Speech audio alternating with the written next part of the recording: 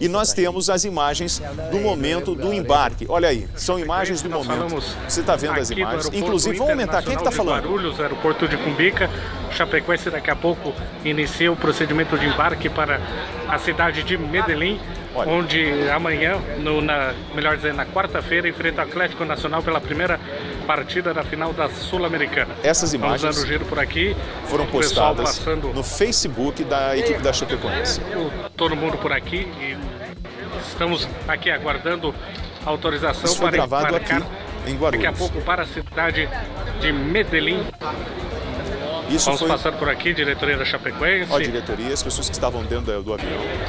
Boa tarde para você que está ligado no Facebook então, da Chapecoense. Isso Nós foi, falamos foi divulgação aqui do aeroporto do Facebook oficial Guarulhos, da Chapecoense. Cumbica. A, a garotada se preparando, a comissão técnica se preparando para o cidade embarque ali no saguão principal do Aeroporto Internacional na- de Guarulhos.